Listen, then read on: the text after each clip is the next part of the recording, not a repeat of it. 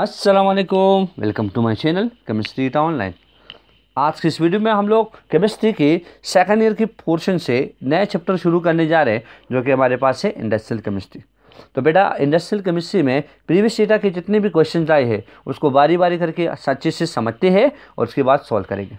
समझ लो बात को बेटा? चलो स्टार्ट कराते हैं. सबसे पहला पार्ट हमारे पास इस चैप्टर में जो करने जा रहा हूँ डेट इज़ ग्लाइकोल तो बेटा, देख लो बेटा कि ग्लाइकोल हमारे पास क्या चीज़ होती है?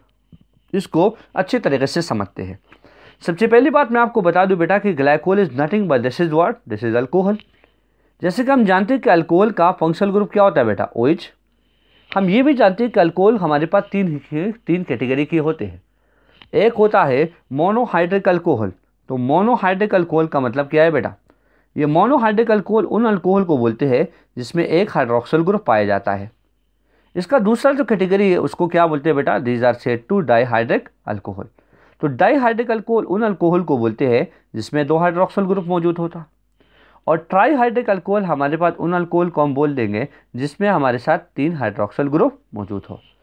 अब बेटा हम बात करेंगे डाईहाइड्रिक अल्कोहल की, क्योंकि जो ग्लाइकोल हमारे पास है, वो डाईहाइड्रिक अल्कोहल है। डाईहाइड्रिक अल्कोहल के बारे में बता दिया कि ये हमारे पास अल्कोहल का वो टाइप जिसमें दो हाइड्रोक्सल ग्रुप पाए जाते हों।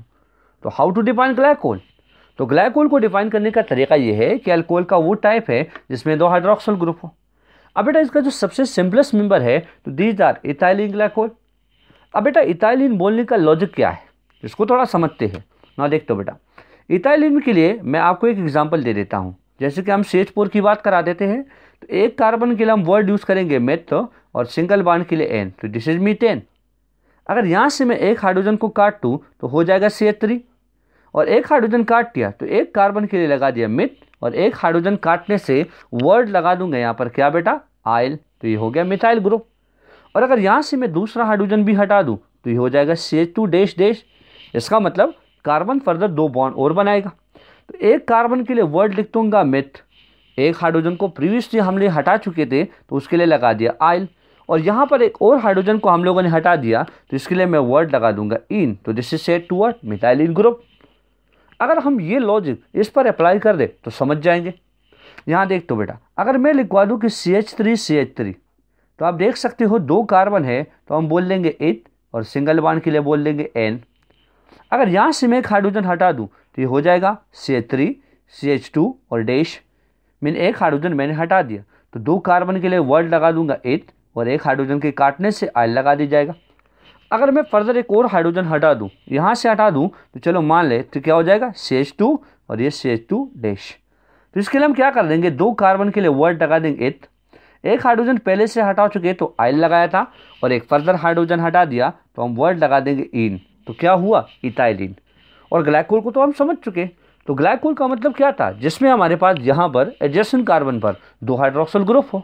तो दो हाइड्रोक्सल ग्रुप यहाँ लगा दो ओ एच और ये ओ एच तो अब इस कंपाउंड का नाम क्या हुआ? इटाइलिन और दो ओइच लगाने से क्या हो गया बेटा? ग्लाइकोल या सिंपल आप इसको ग्लाइकोल भी बोल सकते हो। समझ लो बात को बेटा? ये इसका लॉजिक था कि किस तरह का इसका नाम बोलते हैं, ये सिचुएशन हम लोगों ने क्लियर कर दी। अब देख तो बेटा कि हमारे पास इनकी कुछ इंपॉर्टेंट पॉइंट है, उसको समझते हैं।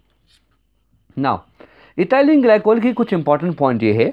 अगर हम लोग ग्लाइकोल या ग्लिसरीन की बात करा दें, जो कि हमारे पास ट्राईहाइड्रिक अल्कोहल है ट्राईहाइड्रिक कोल, जैसे हम जानते हैं कि तीन कार्बन और इस पर क्या है एडजस्टेंट कार्बनों पर तीन हाइड्रोक्सल ग्रुप ऐसे लगी हुई है। बाकी हाइड्रोजन के सेटिस्फेक्शन करा दो तो यहाँ पर दो हाइड्रोजन हो जाएँगे। इधर एक हाइड्रोजन हो जाएगा और इधर दो हाइड्रोजन तो this is set to glycerol या आप सिंपली ग्लाइसिरिन भी बोल सकते हो। अगर हम ग्लाइसिरिन या ग्लाइकोल दोनों की बात करा दे, अगर मान लें कि स्क्रीन पर हम लोगों ने लगा दिया और उसको हम थोड़ा टेस्ट करा दे तो क्या होता है बेटा? ये मोस्ट ही स्वीट टेस्ट देता है। इसकी एक इंपॉर्टेंट प्रॉपर्टी है, जो बहुत जानी मानी है, वो क्या है कि this will act as anti freezing agent मतलब कार रेडिएटर में जो पानी डाला जाता है, इसको फ्रीज होने से बचाता है।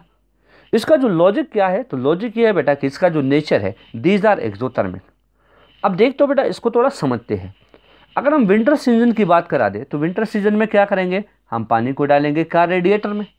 और कार रेडिएटर में डालेंगे तो टेम्परेचर कम होने की वजह से बार बार इससे हीट रिलीज़ होगी। तो क्या हो जाएगा बेटा? ये बदल जाएगा आइस में मतलब ये फ्रीज हो जाएगा।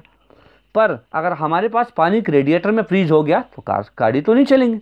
अब करना क्या है हम लोगों ने? यहाँ पर हम लोगों ने इथाइलिन ग्लाइकोल को डाल देना है, या सिंपली बोलो ग्लाइकोल ग्लाइकोल का काम क्या होता है? तो ग्लाइकोल का काम होता है बेटा, इसको हीट सप्लाई कर देना।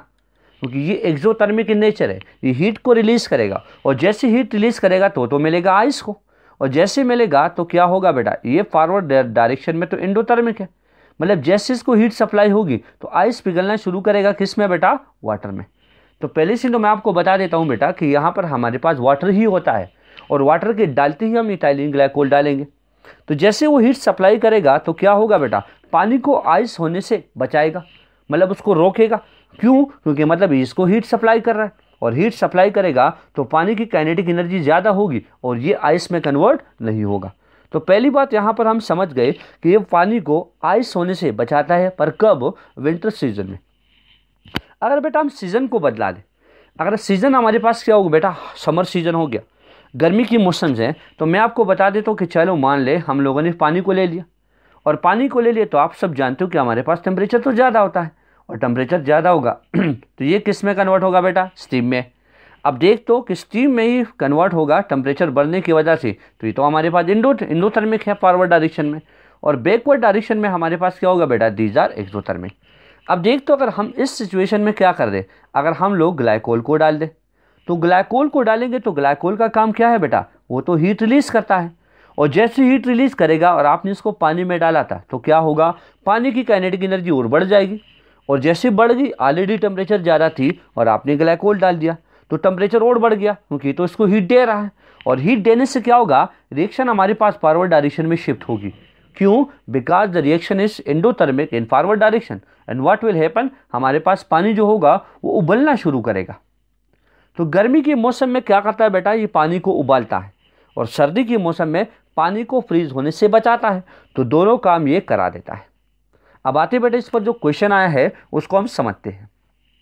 अब क्वेश्चन हमारे पास क्या है? उनको हम लोग करा देते हैं। क्या है? देख लीजिए कि ऑटोमोबाइल में हम इथाइलिन ग्लाइकोल को जब डाल देते हैं तो इसको इस्तेमाल किया जाता है किसके? प्रिवेंशन के लिए। In automobile ethylene glycol is use to prevent dash तो किसके प्रिवेंशन करता है बेटा? हम सीख चुके। कि अगर हमारे पास अगर हम विंटर सीजन्स की बात करेंगे तो पानी को फ्रीज होने से बचाएगा। तो यहाँ पर है prevent freezing of water in cold season तो the correct answer is option A दूसरा ऑप्शन अगर आप देख दो तो कहते हैं कि prevent boiling of water in hot summer no बेटा, वो प्रिवेंशन नहीं करेगा, वो इसको डायरेक्ट ही उबाल देगा। तो ऑप्शन बी भी गलत है रेडिएटर को ड्राइंग करता ये भी गलत है बोथ ए एंड बी भी गलत है। तो करेक्ट आंसर इज़ वर्ड बेटा? ऑप्शन ईटा 2016 का क्वेश्चन था और बहुत ही सिंपल और आसान सा क्वेश्चन था। पर इसके बेग पर जो लॉजिक था, वो आपको मैंने समझा दिया।